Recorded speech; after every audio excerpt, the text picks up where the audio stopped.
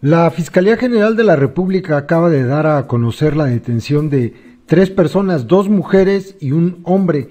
Las dos mujeres, Diana Karen y Samantha, que ustedes observan en las imágenes que compartieron desde su cuenta de Twitter, aparentemente serían hijas de, del Ojos del cártel de Tláhuac.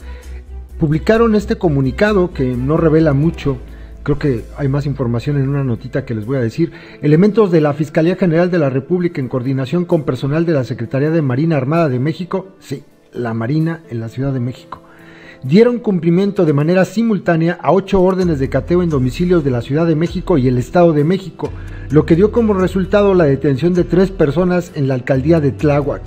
Personal adscrito a la Policía Federal Ministerial y agentes del Ministerio Público Federal especializados en investigación de delincuencia organizada, junto con elementos de la CEMAR, ubicaron y detuvieron a Diana Karen P. y a Samantha P., así como a Mauricio J., sin uso de violencia ni afectación a terceros, además de que en todo momento les fueron respetados sus derechos. Durante la captura de estas personas fueron asegurados automóviles, armas de fuego, dosis de narcótico, equipos de telecomunicación, numerario en efectivo, una báscula digital y documentación diversa. Los detenidos y los objetos asegurados serán puestos a disposición del agente del Ministerio Público Federal a efecto de que se determine su situación jurídica. Y luego por acá viene una nota, eh, la jornada de Denise García, que dice lo siguiente. En operativos simultáneos contra el cártel de Tlagua implementados por la Fiscalía General de la República en coordinación con la CEMAR, fueron detenidas tres personas, entre ellas Diana Karen P., hija del fallecido fundador Felipe de Jesús Pérez El Ojos.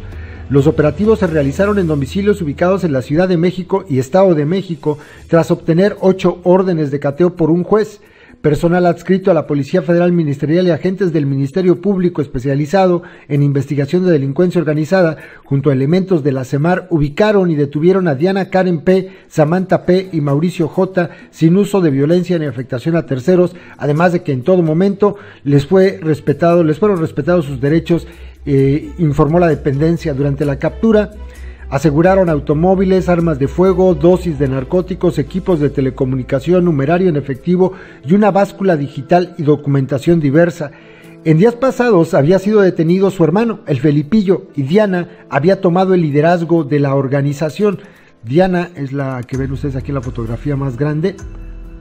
Samantha y Diana serían hijas del Ojos, hermanas del Felipillo que fue detenido apenas hace unos días y esta tercera persona que colaboraba con ellos y de quien no se dice cuál era su función dentro de esta organización criminal que hay en Tláhuac, en la delegación, bueno, en la ahora alcaldía de Tláhuac, en la Ciudad de México.